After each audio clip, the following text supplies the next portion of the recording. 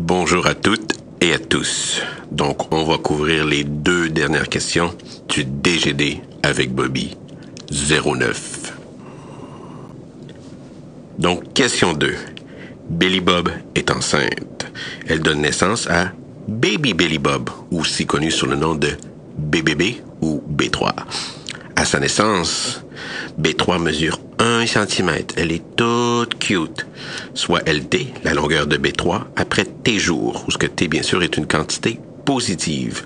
Supposons que le taux de variation, donc la dérivée de la longueur, est modélisé par DLDT est égal à T fois 1 à la moins 0.01 T. Calculer L de T et calculer la longueur éventuelle de B3. Donc, quand on dit calculer la longueur éventuelle, c'est équivalent à demander de calculer la limite lorsque t tend vers l'infini.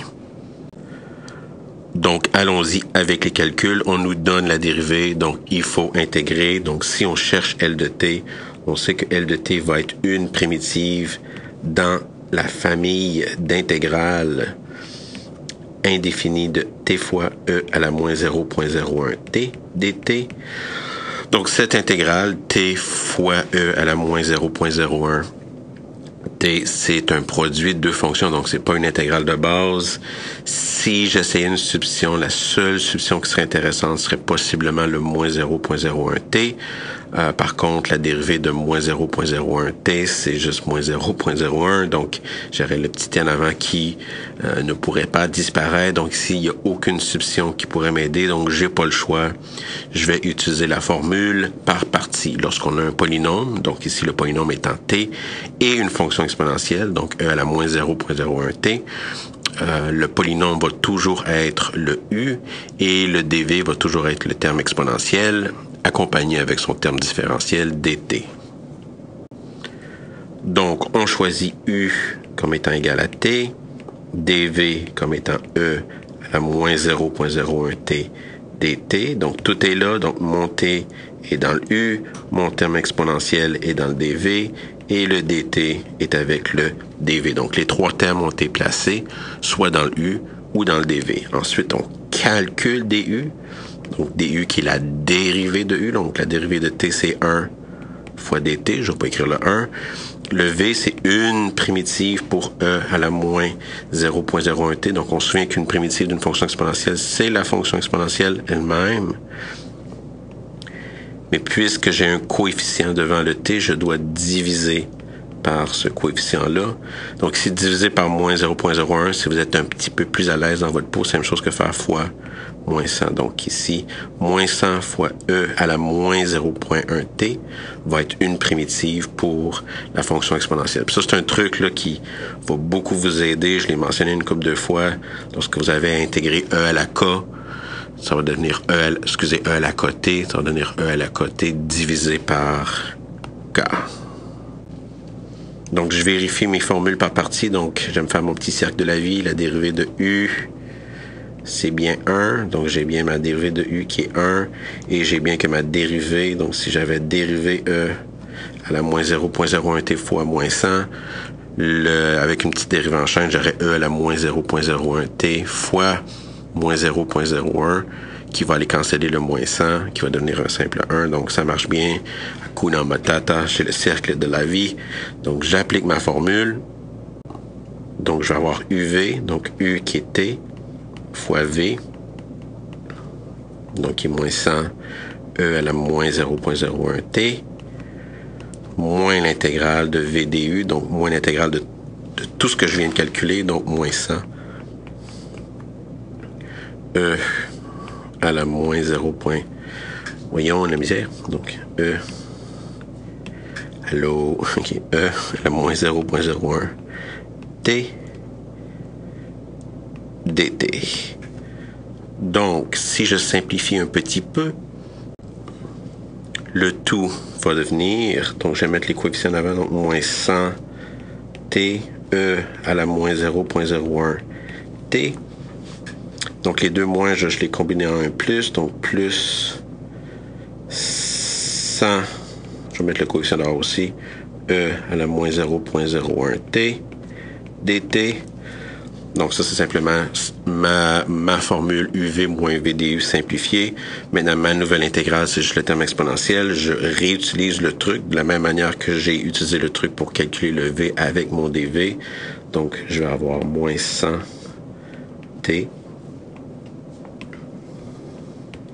E à la moins 0.01 T plus 100 E à la moins 0.01 t divisé par moins 0.01, juste le même truc. Maintenant que j'ai plus d'intégrale, je fais plus c.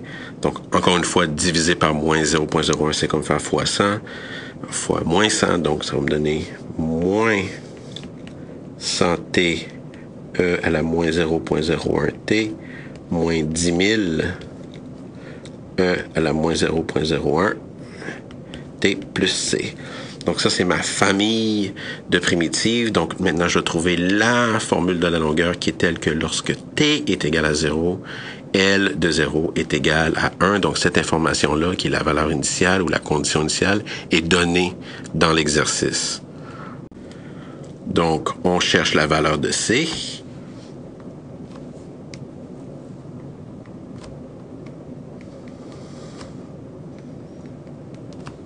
Que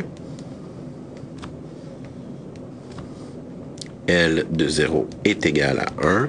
Donc ici, j'ai que L de 0 va être égal à... Donc je remplace toutes mes T par 0. Donc c'est purement de la substitution. Puis lorsqu'on résout pour C, c'est toujours, toujours une équation linéaire. Donc le plus C est toujours à la fin. Donc mon L de 0, c'est 1 moins 100 fois 0 fois E de 0, ça va être 0. Donc, je vais avoir ici 0. Voyons. Donc, je vais avoir 0. Moins son, moins 10 000 fois E à la 0 qui va être simplement moins 10 000. Plus C. Donc, si j'envoie le moins 10 000 au bord en plus, je vais avoir 10 000 plus 1. Donc, 10 001 qui est égal à C.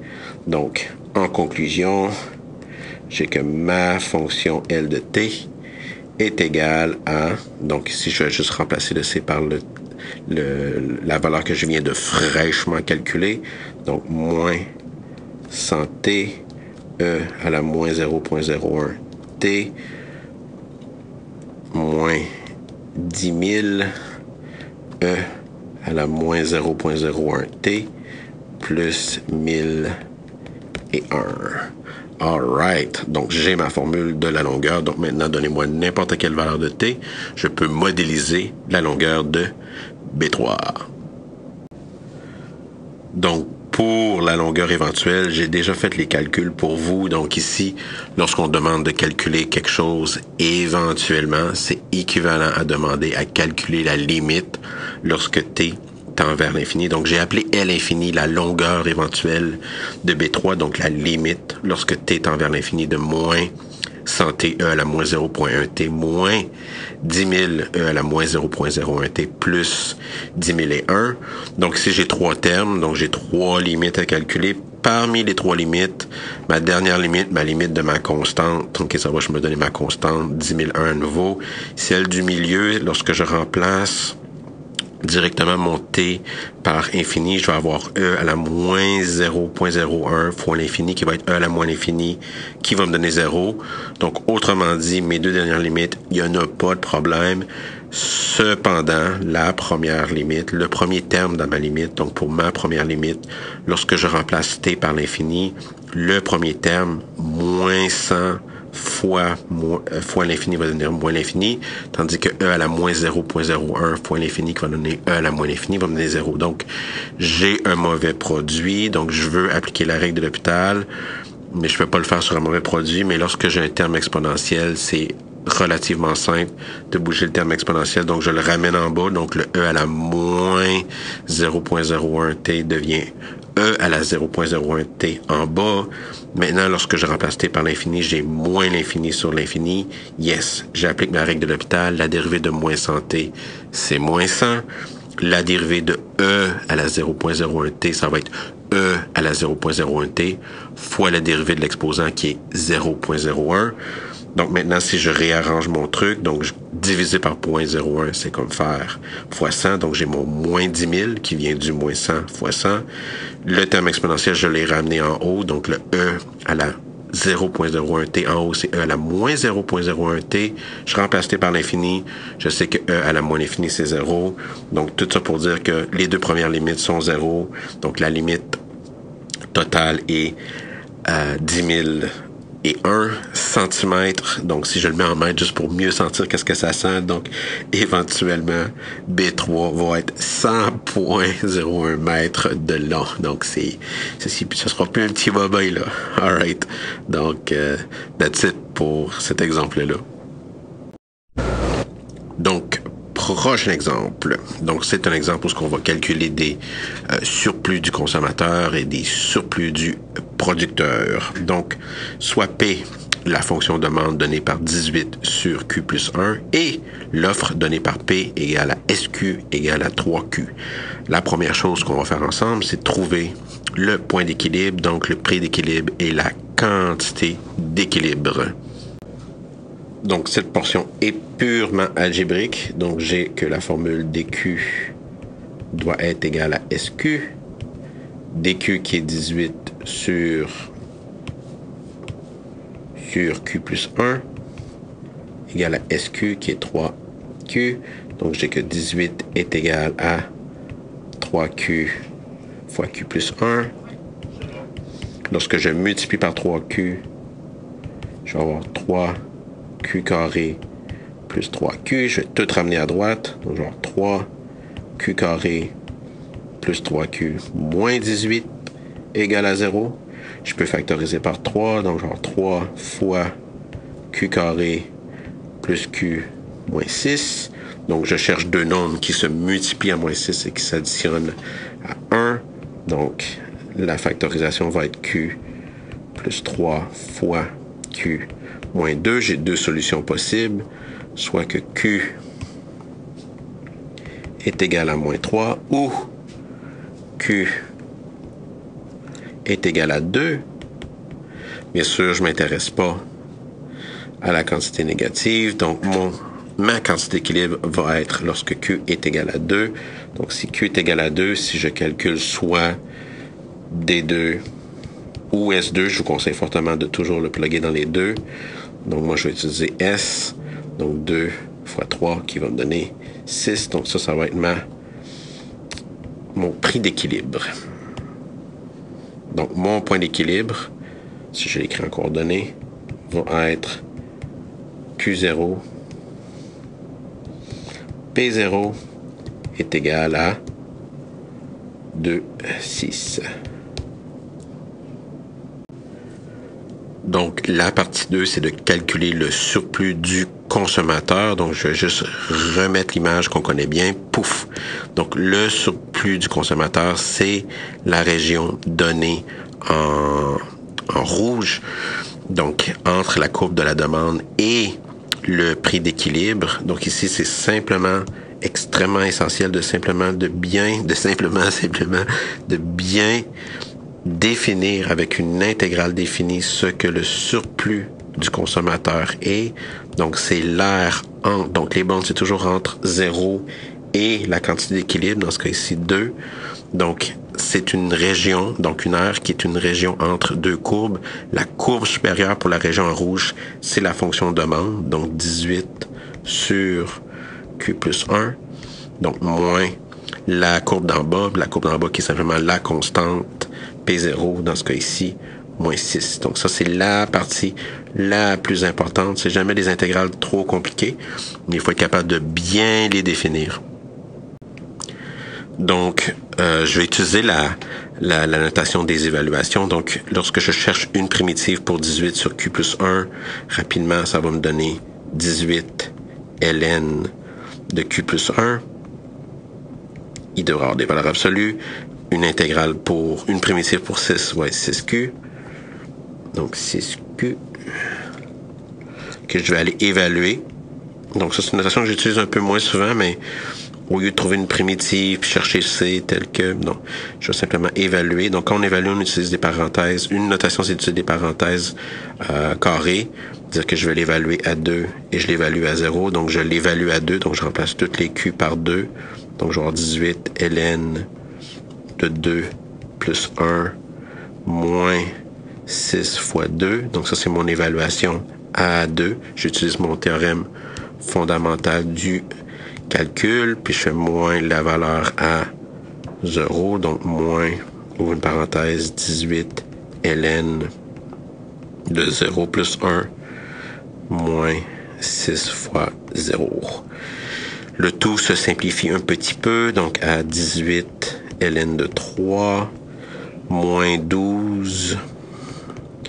Euh, puis pour la deuxième parenthèse, ln de 1 c'est 0, 6 fois 0 c'est 0.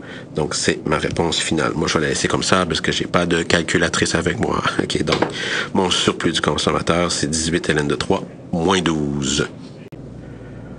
Pour le surplus du producteur, donc la dernière partie, le surplus du producteur, donc c'est l'air de la région en bleu, donc ça va être l'intégrale entre 0 et 2. La courbe supérieure, maintenant, ça va être le prix d'équilibre, donc 6, moins la courbe inférieure, donc qui est la courbe de l'offre, qui est 3Q. Donc, cette intégrale-là, beaucoup plus simple. Donc, si j'intègre directement, l'intégrale de 6 va devenir 6Q. L'intégrale de 3Q va devenir 3Q carré divisé par 2.